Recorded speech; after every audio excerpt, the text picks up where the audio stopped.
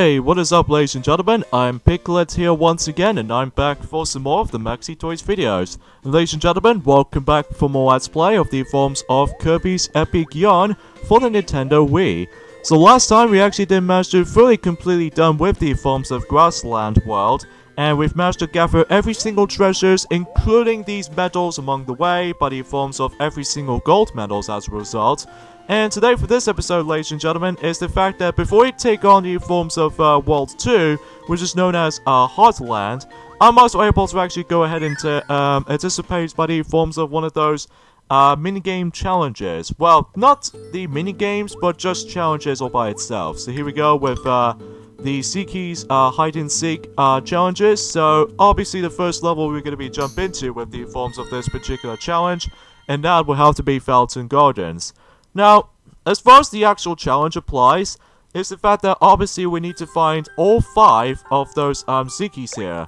And every time you find one, then you weren't able to find another one. So, self-explanatory though really for the most part though, but even then though, you always have to be able to actually keep an eye out, because even then, um, as long as you do not pay attention to the actual environments uh, close enough, then you would able to actually find those guys no problem. So, and if you can tell already that um, it's also very easy for most of those challenges, but as you proceed to the forms of the later levels, that when we're able to actually unlock them and during them later down the road, um, you can expect how the uh, how the fact that most of these challenges can get a little bit more difficult as you progress. See, though, that, well, if you probably already know about that until when we ever when we get to, you know, World 3 and onwards, then though, we'll see what happens there. I, I do apologize if my voice is going a little bit more awkward at little one point or another. That's only because I just always keep on belching myself, which I know is terribly disgusting, but even then, I do apologize for that point, folks.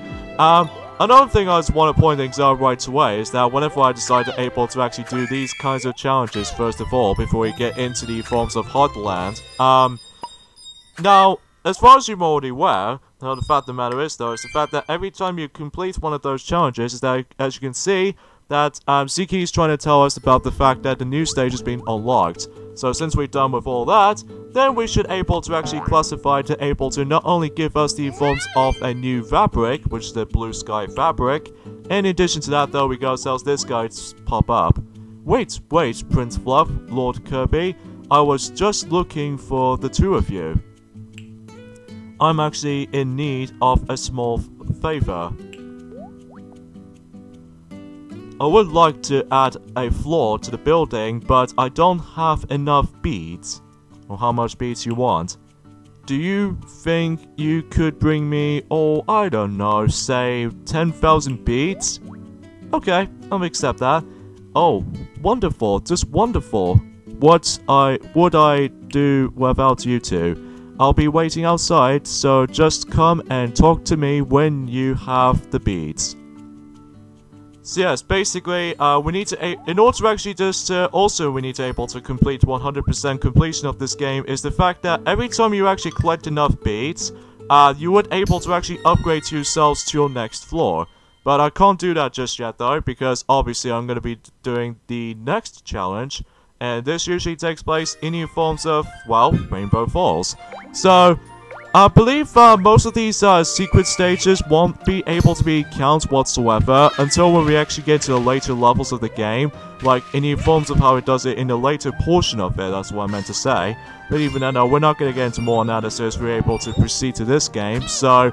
Yeah, I do apologize for the actual two-day delay, because uh, recently, we're able to coming back to this actually, uh, because recently that Knuckles the Echidna is about to be now going to be doing his Let's Play, of the forms of Pac-Man Party recently. So at the moment that we've only held up for 13 Let's Plays at the moment, which sure, I do, we really do apologize if we actually still hold up for those Let's Plays for quite a long time. But even then though, don't worry, we'll finish those in during a couple of times worth noting for, especially when it gets to like, sometime in 2020 or onwards, but even then that could be saying much, so anyway. A few things I just want to explain about this, naturally, is the fact that, uh, speaking of which, when it comes to our, our YouTube channel so far, um, we've actually managed to claim ourselves by the forms of, I don't know, I, I don't know if we actually just managed to mention about this, but hey, at least we've managed to get ourselves 200 subscribers recently. Well, to be more accurate, 201 subscribers, which is very, very awesome if you ask me. I wonder if we can able to do a biggest event for 200 subscribe special, but I think I can't plan this out right about now. I think we should able to plan this out until whenever when we get to November sometime. Perhaps the most uh, famously is the forms of, you remember back in the forms of 2013, that, uh, you know, the uh, two Teddy uh, uh, characters, including Daffy and Sylvester, managed to able to actually tackle one of those multiplayer games on Super Monkey Ball 1, both are Monkey Target and Monkey Golf, and especially notable with Monkey Bowling, which is by far the most popular video in our channel so far. And uh, I wonder if we're how we can able to actually just to redo those again, but this time playing on Super Monkey Ball Deluxe on the original Xbox version, and because of that, uh, we'll decide to make the quality even much more nicer, and I think we can able to actually accept also with the widescreen support. So even then, uh, as you probably expected at this point, we're going to be playing that on the Xbox 360 version, but even then, again, we'll have to wait and see what happens there, but even then though, until when the day comes. So, just wait your patience, and that's all I have to say about this. But yeah, as we move along to the next couple of levels with the forms of the Zeke's, uh, hide and seek challenges, then in more difficult it uh, proceeds or even progress. So, as you might expect in any other games out there, especially with this game's case. So, that concludes that for now on, uh, for now on anyway. But it wasn't until when we get to the future worlds that we could able to unlock more of those uh, keys challenges and all that stuff, so Anyways, let's go ahead and give him uh, 10,000 beats, and as soon as we actually accomplish that, then we would able to actually upgrade our building for now. Well, at least in this case, another floor to the building. So, even though there's no construction or anything like that, it just gets it all by itself, as you can see there. And now we can actually have ourselves a ladder with it, I'm presuming for this matter. So even though we've already got access to the forms of two another floors, which, at the moment, um, I think I might, wait, I think I can't do that right about now. Other than that though, because even then though, I might as well able to save that in a later time. Especially when we actually get into the next world of the game actually, just about right about now. And in fact, we'll go ahead and get into the forms of Hot Land. You can either walk on foot, or my personal favorite is that if you press the minus button, in the forms of the actual map button, you can just simply just able to actually jump into world to world, and that's the only thing I do really like. So anyways, welcome to World 2, Hot Land. As you expected, it, is a desert theme level. So, yeah, as you might expect it, because even Nano is the second world of the game. So here we go, on to the first level in Hot Land, because obviously the desert itself is very, very hot in reality. And, uh, yeah, you can definitely know the drill here. So here we go, with Pyramid Sands as the first level in Hot Land. As far as this level's gimmicks goes, is the fact that we actually come towards the quicksand. Now, we've technically already saw the, uh, the quicksand ever since in Mole Hole, one of those secret levels in Grassland, but uh, this is actually the first time properly that we can able to actually introduce those quicksands for the first time. And basically, what it does is just basically, it just keeps alternating between uh, two different colors of the forms of the actual yarn itself. And by the way, before we get to this, however, though, if you come across into those particular mummies, as you can see there, they're usually almost like a shape like a, uh, well, a gems bag. Uh, be sure to able to use the projectile, and then you would able to obtain as plethora of um, beads as possible. So, yeah, I should definitely recommend doing that. And as you can see, we've got ourselves a camel sofa. So, there goes the job done. So, once again, there are still some three treasures to be found here, and uh, as far as later levels, as far as this is concerned with, especially noticeable I've already mentioned about this in Junior Likes of in Bean, uh, Big Bean uh, Vine level, that um, most of those treasures, well, not so much in the first treasure, because you always get the first treasure from the start, but whenever it gets into some levels, mainly due to how the fact that you always get the CD from the second treasure, and some of those levels will actually save the CD for last, and uh, that could be the same applies for the second treasure as well. Like, it just keeps alternating between uh, whatever what levels you're going to be going to next. And then next thing you know is how the fact the matter is, though, that you would able to actually realize that most of those treasures can be a little bit more odd precision. So, I digress. So we have ourselves an estimation mark um, spot. And in fact, it's going to guide us all the way um, Well, not that far from here though, I would hoped. I should probably point things out right away though, is the fact that, uh, one thing I forgot to mention about this, um, this might actually be my last Kirby Let's Play I'll do from now on though, for this, uh, for this year. Because, um, since 2019 is getting closer at this point, and we got Cactus Juice. That's a weird juice, I will say that much. Um, in order to actually deal with those uh, particular spiky ball-looking obstacles, I suggest you're able to use the uh, the projectile until you're able to defeat them as um, ever will be, and then that way you can able to grab as many of those beads as possible. So, that's the easiest way I feel like. So, and um, yeah, because I decided to able to actually just say this right now, that um, Kirby's Epic Yarn might be the last Kirby Let's Play as far as this year's goes. Because, don't worry, we still got a plethora of Kirby games to tackle through, like the forms of uh, Kirby Superstar Ultra for the Nintendo DS, and especially notable with the forms of uh, Kirby's Adventure Wii, aka Kirby's Return to Dreamland, and Kirby Triple Deluxe, Kirby Planet Robobots, and the forms of the latest games in the series, but the forms of, uh, well, Kirby Star Allies. Um, and uh, I'm probably not going to do Kirby Battle Royale because it only has like one save file, so I'm probably not going to go for that one, uh, for that game. And plus, uh, I know for some people usually think that this is pretty much a somewhat of a mediocre game at its best. Well, at least as far as that's most likely concerned of. In fact, you know, still, between the forms of Kirby Battle Royale, and especially noticeable with the forms of Mario Party the Top 100, they both share the exact same score reviews by the forms of critics alike. And I don't know about fans though, because even then though, that is entirely up to their own opinion.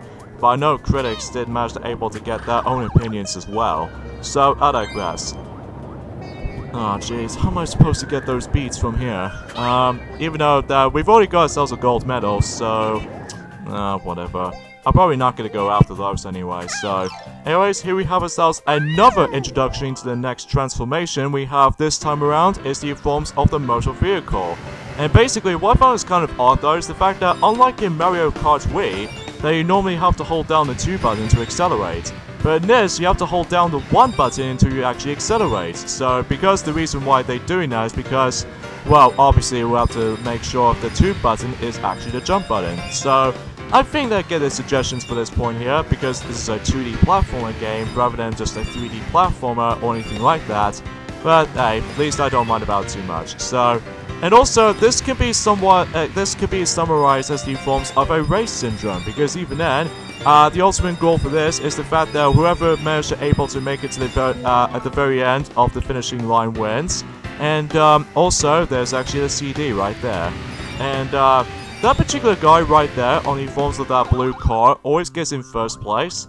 So, all you have to do is basically, you need to be exactly perfect on it, because if you mess up at least once or twice, then you might as well be able to actually go for second or third place. If you manage to get first place, as you can see there, then you get a crap ton of beats, and uh, if you manage to get like silver or third place position, then you get less of an amount of beats. So, that's how the system works. So, yeah, that's it for Pyramid Sands. So, please give me a big reward. Oh, what? Oh, dang it. I was so close. I was really so close to get that big reward. Nah, whatever. Nothing matters anyway though, because we've already got a gold medal to begin with, in addition to those three treasures that we've collected. So, I think we should able to be just as fine. And speaking of which, we got ourselves the magic lamp patch. So, and we've actually unlocked the next level of any sorts for, um, you know, the Zeke's uh, hide and seek uh, particular challenge. But I'm not gonna get into that just yet though. And let's summon the genie as far as the wish. I wish to proceed. Thank you very much. Even though that I've only have like two wishes left. I kinda wish I can able to make my own one, but the forms of those two wishes I can wish for. Like the forms of uh, crap ton of cash, or just pretty much everything. Alright, so the next level we have, as you can see there, Lava Landing. And as you probably can tell, it's basically a lava-themed level. And just like in forms of how it does in any other lava-themed levels, in forms of any other video game genres out there, um, if you're touched by the lava, then you'll be essentially going to get hurt a lot. So, Yeah, I got a bad feeling about this, but apart from that though, it's pretty self-explanatory if you know what you're doing. And especially noticeable if you want to able to go after every single treasures, or even just trying to get yourself a gold medal of all things. So yeah, I guess that makes it obvious there. And right here, um, you know these little crash bomber uh, type of enemies, they are back in full force, just like how it does it from before. Except the fact that you, you can't, you can no longer perform a screen nuke of all things, which is a crash ability, because, you know, uh, copy abilities is nowhere to be able to use. So instead, you can able to actually use these guys to able to actually act out as bombs. Like, in order to actually just manage able to activate the bombs, you have to simply just hold down the one button, that's all you have to do. And uh, basically the bombs can do is the fact that it can actually break solid blocks. So, very self-explanatory for the most part though when it comes to these guys. Don't run onto them because even though no, that also might as well count as the explosion, so just be very careful though, especially with the actual lava environments itself, so... Oh boy. Okay, you can also manage to grab those uh, fireball projectiles whenever they burst out, and then you can able to act out as a projectile when you're grabbing it. And, uh, yeah.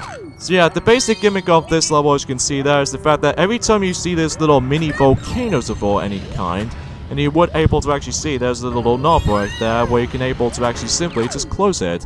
But it doesn't last very long though, it only lasts for about like, let's just say 5 seconds, and then uh, if 5 seconds is up, uh, what, what happens is, though, is the fact that uh, the actual volcano will start to erupt it again. So, here's the first treasure, stone lamp. And, speaking of which, there's another treasure involved, which appears to be um, well, first of all, we need to able to deal with the forms of these uh, crush bomber enemies, as you can see there. I'm very glad for because of how the fact that those enemies are going to make it as an appearance on the forms of the item usage from Super Smash Bros. Ultimate, so at least I do appreciate it with that particular stuff in mind. So anyways, let's see in this treasure chest here, we got a cartoon meat. no wonder why it just calls it that, but I digress. And this is kind of cool that uh, Kirby can able to navigate by the forms of those narrow holes, as you can see there. But because he was actually made in yarn, that means he can actually go through many gaps as possible. And talk about that tradition, here we have another new transformation, but this time we have is the Fire Engine Kirby. Which, I will admit though, it looks very very adorable when it comes to looking at that, and very awesome at the same time as well. Uh, basically, you maneuver around with the directional pad, as always, and you um, press the one button and two able to activate the hose, and you can able to actually press the two buttons to jump as you expected. But here's the thing though, you need to tilt the Wii remote in a corresponding direction if you manage to able to aim your the forms of the actual like, you know, the actual hose itself. Which is very cool, because even then though, you can actually aim this thing whatever as much as you want it to. Uh, the only noticeable exception is downward, and especially noticeable with uh, you know, just diagonal, or you can do diagonal from the forms of uh, upper right or upper left, but you can't do um, like bottom left or bottom right. So I guess in that makes it very obvious because um, ho hose can usually just manage to detach the forms of the fire engine, of course, especially like you know. I do love the music on this level actually, but even then though, oh god, we got ourselves this sequence here. Um, as you can tell, as soon as we reach to this point here, then the volcano is going to erupt and it's going to be rising up. So even then, we need to make our way all the way up to the top and, and uh, you know, just hopefully hope for the best and just trying to not to lose as many beats as possible. But if you do, on the other hand though, then, you know, you might as well be able to lose them anyway. And I'm probably not going to go after every single beats because I'm mostly concentrated on the forms of uh, well, let's say the uh, the third and the final treasure, in addition to those uh, end-level medals. So, I think that's what makes it very obvious for that point. So, anyways, let's aim this uh, Crash Bomber up to the top here. And just trying to unwhip that. And we can able to move on. And I realized there's the third and final treasure just right here. So it's not that far from here though, I don't think, but I we got ourselves a CD for the lava landing. So, yeah, everything else will inject all together, so anyways, let's go ahead and just finish up the level off. So we need to just keep doing this, and as soon as we're able to reach up to that certain point up here, and we could potentially finish up the level as we expected. So let's go ahead and just... No! Ah! Shoot! Oh, that was a waste. That is such a waste. In fact, there's no way I can able to go back up at that point, or go down there. Ugh. So yeah, this is what happens if you manage to able to uh, get hurt by certain projectiles, or even lava environments as a result for this matter. Uh, you lose all of your beads. Well, most of them anyway, though, but even then, uh, I just cannot believe how that happens to me. So there goes the first, um, let's just say the first hit of the actual Let's Play of it so far. Even though that, again, there was no extra lives to be seen around here. But even then, though, that, it's alright, because even then, though, that, well, the game itself is way too easy, though. Alright, so now we've got ourselves the Boxing Bell patch. And now we can able to actually uh, place that and just manage to activate the next level is going to open for us. So let's see how this will interact.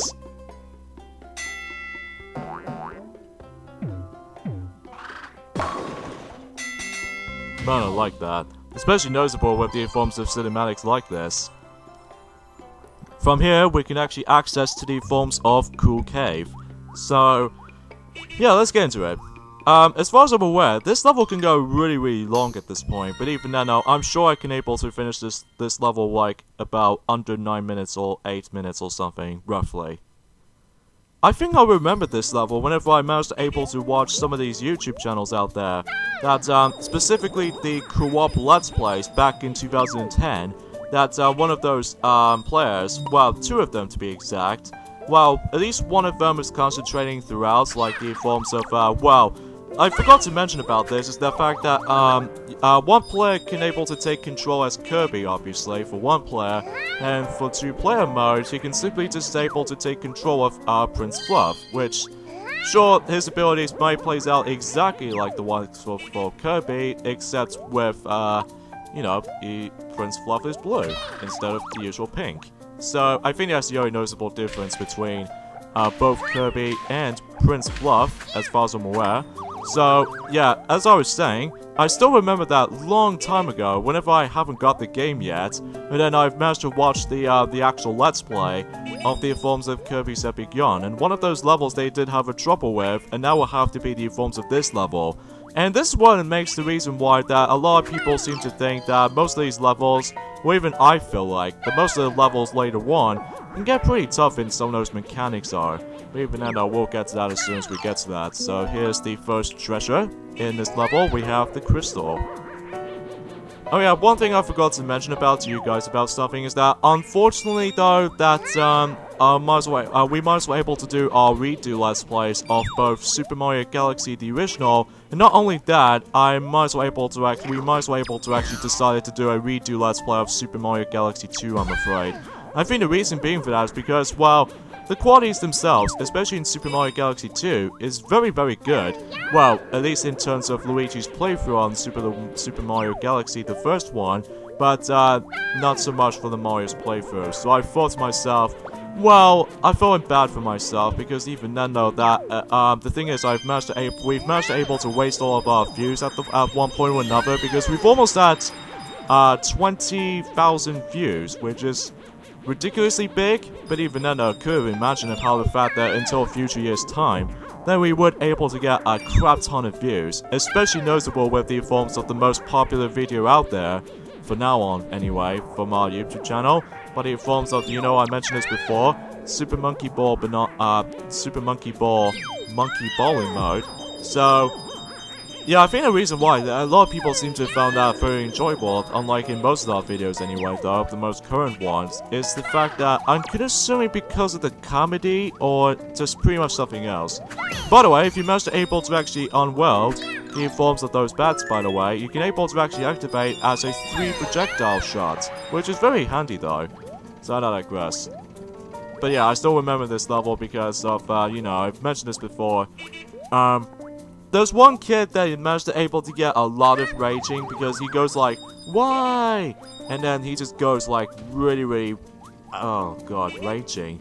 But even then though, that, and the other person is like, don't look at me, don't look at me, I, I didn't do anything. But even then though, I remember that a long time ago. But unfortunately though, I haven't really found that in during the likes of this time and go forth. I'm thinking because I don't know, the videos might as well able to be uh, deleted all by itself, or maybe because they're moving on to the next live. well, if you guys should know what I'm talking about the from, I, I don't know if anyone know what I'm talking about, but I'm just making it as a compliment anyway, so... Oh god, that was red. Oh, shoot! Thanks a lot. Uh, speaking of range here, um, this level can get pretty tricky sometimes, even especially noticeable when there's like, uh, too much stuff is gonna screw you over no matter what in some scenarios. Like, first of all, uh, these enemies right there, the ones they managed to spew out the forms of these blue fireballs, which reminds me of those, uh, spirit ores for some reason from Lucario. And uh, what makes these guys a little bit more of a picky to deal with right here is the fact that they always appeared like almost at the narrow spots, which I was trying to able to actually just trying to deal with them, but unfortunately that's not the case here, so... Oh well, nothing matters. But anyways, let's go up here to get another star bead. Honestly, I think the single player experience might be a better thing in my opinion, unlike any forms of the uh, two player co-op system. I think the reason being for that is because there, there's going to be plenty of times where too many people seem to get screwed over by the forms of um, they don't know what they're doing and all that stuff. I know I'm pretty much professional about this kinds of stuff, but I don't normally play cooperative games like this, even though there's one game in particular why I still haven't owned at this point, but it forms of Ratchet & Clank All for One, and uh, basically it's all about uh, cooperative uh, gameplay experience, which can be the same applies for the forms of this game, New Super Mario Bros. Wii. Ah, oh, shoot! I did that too early! Oh, God, I just managed to able to did that too early. Oh well. But on the plus side though, we got ourselves these beads back. And it looks like we definitely need that projectile to just manage to destroy that solid block and see what's in here. Of course, we have ourselves the end level disc. I always call them that because, get it? Because, you know, um, pieces or just discs itself. So, I digress. So today was actually forms of uh, the 4th of September, so even then though, that still we've only got about, um, I would say, uh, 31 days to go until Super Mario Party for the Nintendo Switch is about to be released. So, still I'm looking forward to that though, especially most of our fans out there are really looking forward to that because I'm so looking forward to able to actually playing as a lot of characters. In fact, probably one of the biggest roster in the forms of any other Mario Party game ever since Mario Party 8.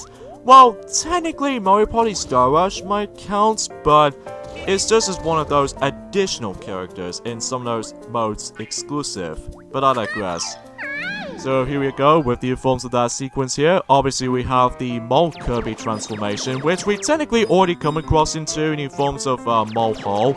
But um, if you have a first time playing this game and able to experience this level, then yeah, this might be your first time you're going to be seeing that. Oh well, yeah, because I'm going to explain this again that um, you press the 2 button to jump and press 1 to just dig through everything. And new forms of this little fluffy part. Seriously, I really love this presentation of the game. It's so fantastic. Because everything else is made out of like material base, which is very, very awesome. I wonder if, uh, although um, Yoshi's Woolly Worlds does the exact same thing as well, but even then though, except it makes a little bit more dynamic feel to it. Like everything else is in almost like a 3D vibe.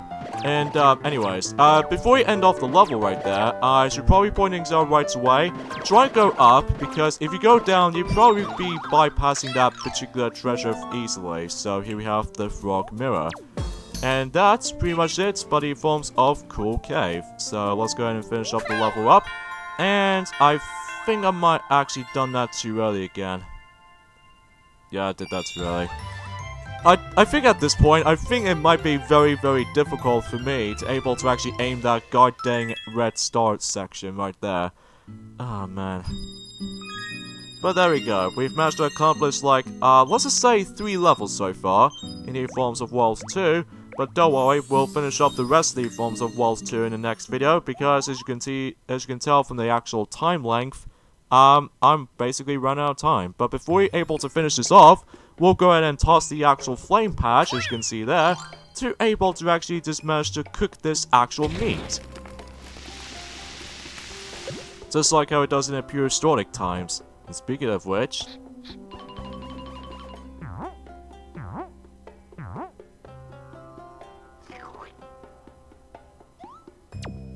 And he eats all the entirety of the meat, all in one go. Could do like few bites next time, but I digress, but you're still cute though. So I digress, we got the endings off here for this point I'm afraid guys, so join me next time and Let's Play Kirby's Epic Yarn. Is the fact that we're going to be taking on the next level in the forms of Hot Land, and that will have to be Dino Jungle. So see you guys then. Later fellas.